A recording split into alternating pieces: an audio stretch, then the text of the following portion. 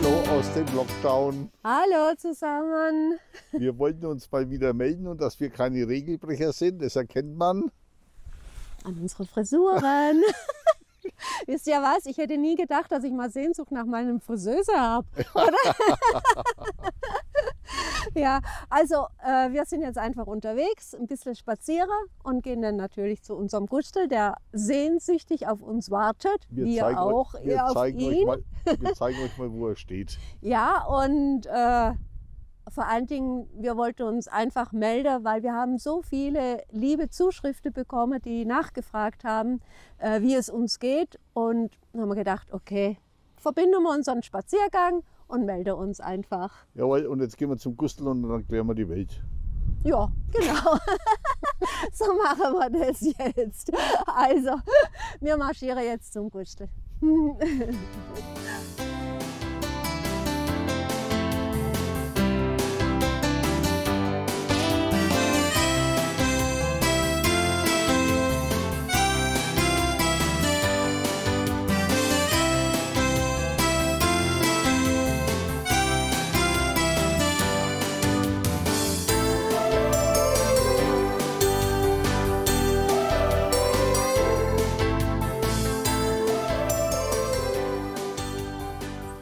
schön, dass wir mal wieder in unserem Wohnmobil sitzen. Mhm, wir haben nämlich auch Entzugserscheinungen. Also wenn ich mir die Bremsscheiben anschaue, die sind komplett verrostet. Ui. Du musst, ja, du musst mal den, den Rost wegbremsen, wenn wir wieder losfahren können. Wir waren nämlich gar nicht mehr unterwegs, also der steht jetzt seit. Ähm, ich glaube seit dem 6. Dezember, wenn Ja, ich mich nicht ja. täusche. Also seit Anfang Dezember, da waren wir ja noch mal In unterwegs in Konstanz. Da haben wir ein Video Und- gedreht, Ja. ja. Und äh, seitdem steht der still. ja. Mhm. Also ich bin auch gespannt, was das mit den Reifen macht. Denn viereinhalb Tonnen auf den Reifen, das ist ja ohnehin nicht so unproblematisch. Der eigentlich gehört er aufgebockt. Ne? Ja, ja, und äh, was ich jetzt auch vorhin gesehen habe, also das Auto wird immer dreckiger und dreckiger und dreckiger, ja. Also es ist schon an mancher Stelle ganz schwarz. Man könnte meinen, der, der rostet so vor sich hin. Oder nee, nicht rostet, aber halt, ja. er tut uns leid. Wir wollten euch auf jeden Fall erstmal berichten, wie es uns unter Co- Covid-19 geht. Mhm, Ja. genau. Also erst einmal sind wir gesund. Das Jawohl, ist, das ist natürlich sehr wichtig. Und wir waren nicht angesteckt. ja, bis jetzt ist bei uns alles glimpflich vorbeigegangen. Und also, so, so wie die Europäische Union das ja alles wunderbar organisiert hat, weil man sehr schnell geimpft. Ja. Ja. Das dauert, wie das aussieht, ja. Da blären sie alle und schreien, na, lasst euch impfen, lasst euch Man, impfen. man redet schon von Impfpflicht und dabei ist nicht einmal ja, was da. Also ja, genau. Also das ist natürlich schon ein bisschen irgendwas äh, nicht so Tolles. Also ein, ein Komiker hätte es nicht besser hingekriegt. ja, genau. Also Wenn es nicht so traurig wäre, muss man natürlich dazu sagen. ja, also da können wir jetzt nur noch abwarten, bis sich die Lage wieder verbessert. Ja, also uns persönlich geht's gut. Danke eurer vielen Nachfragen. Ja, das Ja. ist ganz lieb von euch. Das hat uns natürlich schon sehr gefreut. Wir sind halt viel unterwegs, spazieren. Ja, ich wollte gerade sagen, also nicht äh, reisemäßig, sondern äh, Spazierer. Und ähm, ich glaube, ich kenne jetzt jeden Stein hier in der Gegend, oder? Ihr wisst ja, also wer, wer schon länger bei uns dabei ist, wir sind ja noch, wohnen ja noch nicht lang hier in der Gegend. mhm. Und äh, wir kennen uns jetzt da ganz gut aus. Ja, Ja. also jetzt kennen wir uns wirklich aus. Wie gesagt, jeden Stein kenne ich jetzt und jede Weintraube persönlich. ja, also wie lebt sich's denn in der Quarantäne? Also ich sage immer, wir sind ja eigentlich auch in Quarantäne, denn außer dass wir eben spazieren gehen Und und, ein, und kurz einkaufen, einkaufen gehen, gehen, einmal die Woche maximal. ja. Ja. sind wir eigentlich auch nur noch äh, zu Hause und äh, uns fällt auch langsam die Decke auf den Kopf. Nicht Also langsam, das- sondern schon ziemlich. Ja, also wir sind auch schon ziemlich gefrustet über alles und wir sehnen nichts mehr herbei als unsere Reise. Eins hat das Ganze natürlich für sich.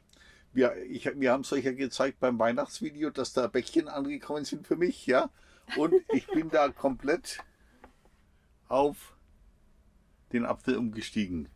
Also die Videos schneide ich jetzt in Zukunft mit dem Apple. Das ist ein kleines handliches Gerät, was wir uns dazu gelegt haben, ja.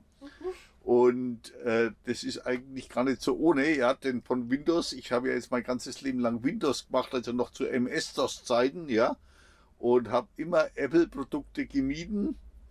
Und jetzt muss ich feststellen, dass ich das eigentlich schon länger hätte benutzen sollen, ja. Also ich habe jetzt so den kleinen 13 Zoll mit dem neuen Chip von Apple und der macht einen ganz guten Eindruck. Also wir haben online einiges bestellt was wir normalerweise eh natürlich auch im Geschäft kaufen würden, aber wir haben uns da auch online dazu äh, hinreißen lassen, weil immer die Geschäfte zu sind. Ja. Übrig, ja. So, so, traurig das ist für die mhm. Geschäfte natürlich, ja. Aber so muss man halt dann online seine Geschäfte tätigen. Naja, jetzt steht wenigstens nicht mehr so ein riese Kaste hier ja. auf dem Tisch, nimmt weniger Platz weg, ist leichter zum Transportieren mhm. und ja, und jetzt werden wir mal sehen, ja, wie du damit komm... arbeiten kannst. In der Zwischenzeit geht es, glaube ich, ganz gut. Ja. Am Anfang muss ich euch echt sagen, er hat gejammert, gejammert, weil alles äh, eine totale Umstellung ist, viel komplizierter oder halt, äh, was heißt komplizierter anders. wahrscheinlich nicht. Es anders. ist halt einfach anders. Er musste sich umlernen und da hat er natürlich gejammert. Und, die, sie hat immer gesagt, selber schuld. Ja, ich habe gesagt, ich will gar nichts hören, du bist selber schuld, du hast dir zugelegt, jetzt schau, wie du zurechtkommst. Ich bin in dieser Beziehung schon äh, ziemlich... Brutal. Er sagt immer, ich sei da brutal. Aber er hat es ja so wohl. ah ja, okay. Also, das haben wir jetzt, gell? Und jetzt schauen wir mal, wie wir zurechtkommen. Also dies, dieses Video schneiden wir das erste Mal mit dem Apple und mit dem neuen Programm. Aha. Und dann hoffen wir mal, dass das klappt und dass da. ob, ob, überhaupt ein Film zustande kommt. Ja. ah ja, das kriegst du schon hin. Ja. ja, und was gibt es denn sonst Neues bei uns? Ach ja, der Helle macht ja den Drohneführerschein. Ja, genau. Es gibt ja diese neue Drohnenverordnung. Ich habe das ja mal bei Facebook und ich glaube auch auf YouTube in äh, Community gepostet. Man kann ja jetzt diesen Online Führerschein machen. Da gibt es drei Stufen, A1, A2, A3. Und die A1, A3, die ist notwendig, damit man überhaupt so Drohne betreiben darf, mhm. mit Kamera dran. Ich habe es jetzt auch nicht mehr so ganz im Kopf, das ist ja schon wieder ein, ein Monat her. Und den kann man kostenlos zurzeit beim Luftfahrtbundesamt ablegen. Mhm. Steht bei uns in der Community drin und auf Facebook, glaube ich, habe ich es auch gepostet. Ja. Den mhm. habe ich mir gleich zugelegt. Und dann hat uns der Drohnenspezialist Uwe ja. kennt er ja von Iris und Uwe's Womo-Welt, kontaktiert und hat gesagt, er möchte gerne den A2 machen, weil mit dem darf man dann noch mehr machen, also bis zu fünf Meter an Menschen heranfliegen und lauter solche Dinge. Also was, was man natürlich nicht mache, weil das nervt. Also an fremde Menschen. ja. Man darf, ja, mhm. und also unter gewissen Voraussetzungen natürlich, und man darf also mit der Drohne dann wesentlich mehr machen, wenn man den A2 macht. Der ist allerdings äh, kostenpflichtig, nicht ganz billig. Und den machen wir im März. März. Da mhm. haben wir uns angemeldet zu einem Lehrgang. Das ist ein Eintageslehrgang. Und da muss man dann auch eine praktische Prüfung ablegen. Und das werden wir dann im März machen und natürlich auch im Video berichten. Oh, das mit der praktischen Prüfung, da sehe ich keine Schwierigkeiten. Schließlich hast du ja beim Uwe schon mal eine, eine, für, eine Prüfung abgelegt, oder? Ihr könnt euch vielleicht erinnern an unser äh, Video damals, was wir, äh, als wir uns ja getroffen haben. Das war, wann war denn das? Spargelzeit. Wann war? Ja, das war nach dem ersten Lockdown, war das. Gell? Nach dem ersten Lockdown, ja genau. Da haben wir ja so ein Video gemacht, wo der, äh, der Uwe im Helle einige Tricks gezeigt hat. Genau, die auch sehr hilfreich waren. Ja. ah ja, und das nächste ist, aber das ist erst im Ende September, am 30. September bis zum 3. Oktober diesen Das Jahres. sagen wir jetzt gar nicht, wir spielen das Intro ein. Okay. Nein, das ist kein Intro, das ist ein Trailer. Dann spielen wir einen Trailer ein. Und dann sagen wir dazu. Ja. Also.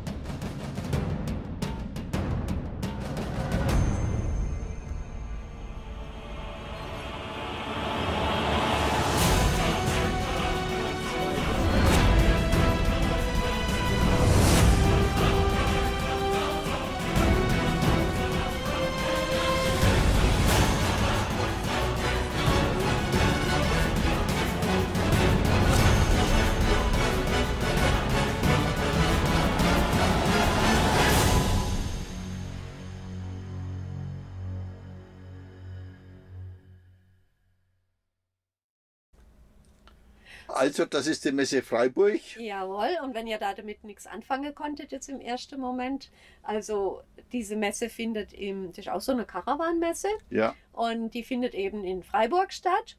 Und der Aki, viele von euch werden ihn auch kennen, von Fan Fan, der hat, der organisiert das alles. Da wird dann so ein Womo-Camp oder, nee, was, wie nennt sie es? Äh, Fanlife kennt. äh, ja, irgend so ein Camp gemacht. Wir, sind geduldet praktisch.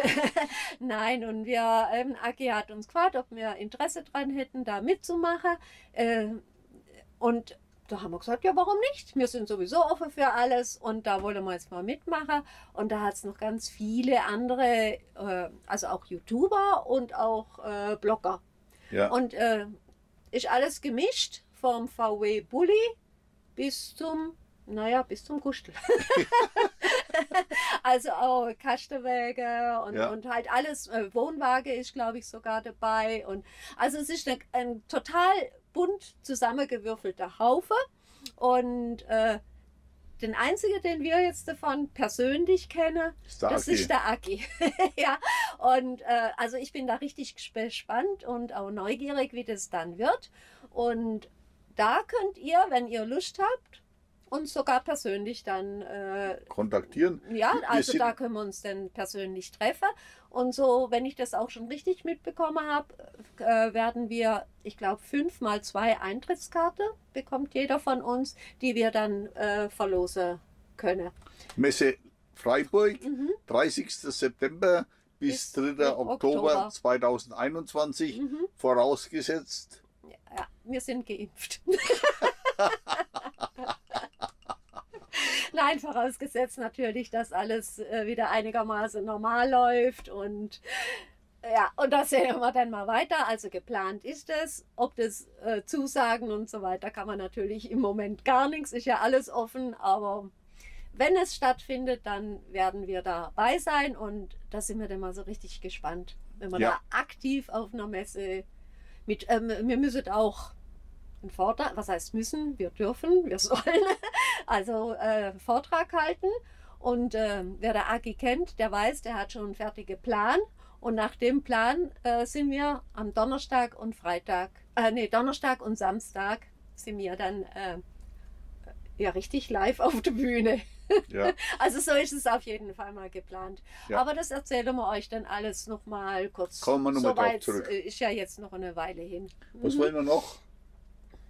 Ach, Frankreich. Frankreich, ja. Wir wollen nach Frankreich, aber die machen einen das ja immer schwerer. Ich glaube, man braucht ja auch einen Umweltaufkleber mittlerweile Ja, den haben wir ja letztes Jahr doch schon Den haben wir besorgt. uns schon besorgt. Den Und haben jetzt wir. haben sie sich dieses Jahr eine neue Überraschung überlegt. Ja, Ja, aber das betrifft jetzt äh, hauptsächlich also uns oder halt alle Womo-Fahrer oder überhaupt ähm, Reisende, die mit über dreieinhalb Tonnen. Haben. Ja. Und wir haben ja viereinhalb Tonnen. Das heißt, ein Aufkleber, es müssen drei Aufkleber hin. Ja. Mhm. Und die, die, äh, wir sind jetzt schon am überlegen, wie man die am besten hinmacht, ohne dass, dass, äh, dass Ja, man das sie. auch dann anschließend wieder ja, wegmachen ja, kann, weil ja äh, äh, eine Zierde ist das nicht, dieser Aufkleber. Und äh, ähm, das soll für den toten Winkel Ja, äh, es ist ein- eine Warnung für die Leute außen, dass das jetzt ein Fahrzeug ist, wo einen toten Winkel hat. ja, also Naja, okay, kann man jetzt drüber streiten. Eigentlich sollte das in der heutigen Zeit jeder wissen, dass solche große Fahrzeuge tote Winkel haben und dann vielleicht auch ein kleines bisschen vorsichtig sein. Hm. Okay, das ist halt so. Mhm. Ja, ich habe ja vorhin schon gesagt, manchmal hat man das Gefühl, dass die Politiker eher Komiker sind, ja. Denn viel Sinn erschließt sich mir da nicht, Nein, ja, aber, also eben, aber Hauptsache ist, der Bürger ist wieder beschäftigt. ja genau. Aber wie das alles, und da, da gibt es dann übrigens auch ganz genaue Vorschriften, äh, wie groß diese Plakette Ja, ja. oder, oder dieses, der Aufkleber zu sein hat und auch genau, wo er hin, zu, hin wo man den hinkleben muss. Und also, also wenn ihr vorhabt, nach Frankreich zu fahren dieses Jahr, im Moment eh etwas schwieriger, aber so irgendwann wird es ja auch wieder gehen. Dann denkt dran, macht euch kundig. Wir, Wir, wir, müssen das nämlich dann auch erst noch genauer uns kundig machen, nur dass ihr vielleicht schon im Hinterkopf habt, hoppla, da war was. am Mhm. besten ADAC Ja, kundig machen, der Genau. kennt sich da aus. eben. Und das betrifft die Fahrzeuge über dreieinhalb Tonnen. Genau. Mhm. Was haben wir noch, Ossi? Dann äh, wollten wir auch noch sagen, zu der ganzen Covid-19-Problematik wollten wir nochmal Stellung nehmen. Das ist natürlich eine blöde Situation. Sowas, es ist eine Ausnahmesituation und natürlich ist es für jeden unbefriedigend, ja. Mhm. Und es hat auch unsere Gesellschaft ganz schön gespalten. Also Mhm. auch wir Ja. haben, äh, sind auf Unverständnis gestoßen für das, dass wir das Ganze ernst genommen haben, ja. Äh, es haben auch Freundschaften darunter gelitten. Jawohl, leider, was wir natürlich sehr bedauern, aber anscheinend ging das dann nicht mehr und ja. Ja. es tut uns furchtbar leid, dass das so weit gekommen ist, aber Ja. da stehen die Meinungen zu weit auseinander und ähm, Also ich muss es mal, hat dadurch halt einfach im Moment ich muss mal ganz, ganz, ganz klar sagen, ich bin durchaus ein kritischer äh, äh, äh, Bürger, aber diese Corona-Leugner, das kann ich gar nicht nachvollziehen und Ärzte schon gleich zweimal gar nicht. Ich meine, jeder, der Fernsehen schaut, als wenn man sich natürlich nur YouTube-Videos anschaut von irgendwelchen, äh, äh, ähm, wie, wie sagt man, Weltverschwörer, ja. Querdenker. Ja, wenn man sich diese. Videos anschaut, dann ist schon klar, dass man erstmal hier nur äh, äh, ge- gedämpftes Wissen hat. Man sollte halt einmal in die Nachrichten reinschauen. Ich meine, wir haben öffentlichen rechtliches äh, äh, Fernsehen. Wir sind ein, also wenn es einen demokratischen Staat auf der Welt gibt, dann ist, der, ist Deutschland da mit Sicherheit da, dabei, ja. Und wer dann da solche Dinge macht, dass der Staat sowas macht oder Zwangsimpfung und Chippen und lauter so ein Zeug, also entschuldige bitte, da zieht es mir wirklich die Schuhe aus. Die Lage ist ernst, es sind so viele Menschen dran gestorben. Dann werden sogar Fake News äh, Mhm. rausgegeben, dass die Todesrate niedriger ist, was gar nicht stimmt. Ja, Ja. das haben sie in einigen Forums gepostet. Ja, also es ist, es hat die Gesellschaft gespaltet. Mhm. Wir sind uns einig, obwohl ja äh, die Ossi das auch immer nicht so ernst genommen hat. Nein, was heißt nicht ernst genommen? Wir sind da ja, wir heißen schließlich auch nicht alles gut, was äh, Nein, so um abgeht. Willen. Also es ist nicht alles da und äh, wir hinterfragen auch vieles. Ah ja, wir, sagen, wir sagen, ja, die sein, Regierung hat, hat? Und, hat, äh, hat einen Großteil versagt. Ja. ja. also auf jeden Fall. Also wir finden nicht alles gut, was hier so abläuft und aber wir, ja, wie soll man das jetzt einfach sagen? Wir sind wissen um die einfach. Ernsthaftigkeit. Wir, ja, genau, wir leugnen das auf gar keinen Fall. Das, Mhm. ist, das ist ein Unglück, was über die Menschheit äh, Mhm. äh, weltweit her herangekommen ist. Ja. Und jeder, der das leugnet und, und sich nicht die Bilder angeschaut hat, die in gewissen Reportagen kommen, von verschiedenen Sendern und von verschiedenen Ländern, also äh, und sieht, was da los ist in den Krankenhäusern, wer, wer Arzt, Ärzte noch nicht gesehen hat, wenn sie irgendwo in einer Sendung berichten, ja, also da muss ich wirklich sagen, der hat ein Brett vorm Kopf, ja, denn das Ganze ist ernst und es sind äh, Leute dran gestorben und eine Tante, von, eine Tante von uns war im Krankenhaus, ist beatmet worden und ein Onkel, der ist mit Covid, nicht an Covid, aber mit, Mit Covid, Covid halt. gestorben, Mhm. ja, also äh, und wer, wer das heil überstanden hat, äh, eine Infektion, der soll Glück von Glück reden, ja. Denn das kann auch ganz böse anders ausgehen, aber damit wollen wir schon belassen. Wir wollen ja die Welt nicht bekehren und Nein, wir wollten euch einfach nur sagen, dass also diese äh, Pandemie, dieser Covid und das Corona auch an uns in dem Fall nicht ganz spurlos Absolut nicht, nee. vorbeigegangen ist. Wir sind bisher äh, natürlich gesund, das Gott ist sei, klar. Aber zwischenmenschlich gab es doch einige Probleme und ja, und, und ähm, ich ja. merke es auch, also wir Mhm. sind mittlerweile ja viel bequemer geworden, ja. Ah ja, das kommt jetzt dazu. Wie ja schon gesagt haben, wir sind ja eigentlich fast nur zu Hause, außer spazieren gehen Ja. und mal einkaufen. Wir sind fast nur zu Hause und wir müssen feststellen, wir werden immer träger. Ja. Ja, also äh, man, muss, man muss sich zu vielem schon richtig aufraffen, ja. Also wir sind natürlich froh, aber wir hoffen jetzt natürlich auch, dass es jetzt bald aufwärts geht, ist ganz klar. Und ja, Ist- jetzt kommt ja auch wieder der Frühling dann, also die bessere Jahreszeit, wo man dann vielleicht auch wieder mehr raus kann. Also Es wir sind ja, schade, wir sind ja es zwei, zwei dreimal wöchentlich ins Fitnessstudio gegangen. Mhm. Das ist ja auch permanent geschlossen. Also Ja, ja, da waren wir schon jetzt schon über ein halbes Jahr nicht mehr drinnen. Ah ja, zwischendrin war es mal, ich glaube, zwei, drei Monate offen Ja, oder so. Und dann Was war wir- jetzt wieder alles zu, ist wieder alles zu. Was wir machen, ist ein bisschen spazieren gehen. Und ich habe hab mir so ein äh, Fahrradergometer zugelegt, auf den ich also mehrmals die Woche dann immer eine halbe Stunde trainiere, was mir auch sehr gut tut. Und äh, insoweit geht es uns schon gut. Aber es ist natürlich nicht das Leben und es geht natürlich, ich meine, wir reden hier auf hohem Niveau, weil uns geht es ja, wir sind ja berendet und insoweit geht es uns diesbezüglich gut. Also manche haben ihren Job verloren und wenn ich jetzt überlege, wir hätten noch zwei, drei kleine Kinder daheim, dann wäre es sicherlich auch noch viel Ja, aber problematischer. sicher auch. Schau mal, wann haben wir unsere Kinder das letzte Mal Ja, gesehen? unsere Enkelkinder Äh, über Weihnachten waren wir ja. alleine, ja. Die Weihnachtsgeschenke liegen immer noch zu Hause. Ja. Also, äh, also von daher, es beeinträchtigt unser Leben schon. genauso. Ja, ja, Mhm. also wie Mhm. alle sind wir natürlich auch nicht glücklich drüber. Nee. Und das Ganze Mhm. geht jetzt ein Jahr vor etwas, naja, noch nicht ganz, ja. Ja. Aber Ja, ja. Trotzdem, wir sind guten Mutes Jawohl. und wollten uns melden. Mhm. Und ihr wisst jetzt, also uns geht's gut. Ja, Das ist einfach Jammern auf hohem Niveau, was bei Natürlich. uns jetzt einfach ist. Aber okay, so haben wir es jetzt halt auch mal gesagt, dass es uns auch nicht so toll geht jetzt. Ah, ah, doch, es geht uns schon toll. in den Umständen entsprechend. ja, so heißt der schöne Satz. Nein, uns geht's gut und natürlich hoffen wir, dass es euch auch gut und ihr auch äh, verschont geblieben seid von der Krankheit. Und ja, und jetzt warten wir natürlich alle, dass wir endlich wieder reisen können. Wir haben vor ein paar Tagen in, in Facebook äh, diskutiert. Viele, die haben sich ja neue Wohnmobile gekauft, ja. Ja. Die stehen jetzt rum, die waren teilweise einmal unterwegs oder noch gar nicht unterwegs, ja. Einer hat geschrieben, er übernimmt heute sein Wohnmobil, ja, und ist gleich im Lockdown drin. Das ist natürlich Das, bitter. das ist natürlich noch viel Ja. schlimmer, ja. Ich bin nur gespannt, was passieren wird. Dann nächstes Jahr sollte ein, die Reisefreiheit wieder unbeschränkt möglich sein, weil die Welt dieses Virus besiegt hat. Dann bin ich gespannt, wie der Wohnmobilmarkt ausschaut mit gebrauchten Geräten, wenn die Leute wieder Flugreisen machen können, die sich ein Wohnmobil gekauft haben und deren Welt es nicht ist.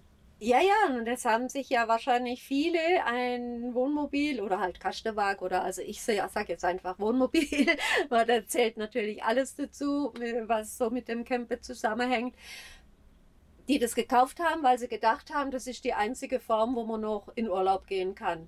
Und dann mussten sie feststellen, hoppla, das geht ja auch nicht. Man darf ja nirgends hin, Campingplätze zu, Stellplätze zu. Es ist nicht erwünscht, äh, touristisch zu reisen. Man soll nicht übernachten. Also, und, und jetzt stellen sie fest, ne, so toll ist das jetzt auch wieder nicht. Also da gibt es bestimmt der ein oder andere, der dann sagt, okay, wir verkaufen alles wieder. Hm? Ja, also, ich Also, denke, der, der, So Wohnmo- könnte das schon auch sein. der Gebrauchtwagenmarkt wird äh, in ein, zwei Jahren gut bestückt sein. Äh, Ja, also davon gehe ich auch aus. Und eben, die sind dann vielleicht auch gefrustet, weil überall gibt es keine Plätze, wo man sich hinstellen kann. Ist ja alles ausgebucht. dann sind sie gefrustet und naja, warten wir einfach einmal ab. Wir haben unseren Gostel und den geben wir auch nicht mehr her. Nein, Nein. natürlich nicht. Gar keine Frage. Nee, Auch nur wieder reisefrei. So, was haben wir noch, Ossi? nichts mehr. So, wenn wir nichts mehr haben, dann Ja, wir wollten uns ja eigentlich nur melden und jetzt haben wir da gelabert und gelabert und dann verabschieden wir uns wieder ins Lockdown. ja, Also, dann ja, schließt ihr oder? euch schön ein, wir schließen uns auch schön ein. Ja, also dann sagen wir einfach Tschüss, Tschüss, macht's bis gut. demnächst. Wir melden uns wieder, so wie es was Neues zu berichten gibt. ja. Und vor allen Dingen bleibt alle gesund. Auf jeden Fall, ja. Haltet euch an die Regeln, bleibt gesund und Mhm. macht den Arm frei. Ja, sofern es überhaupt äh, was gibt zum Freimachen. Ja, also. also, wir sehen uns, gell? Also, tschüss.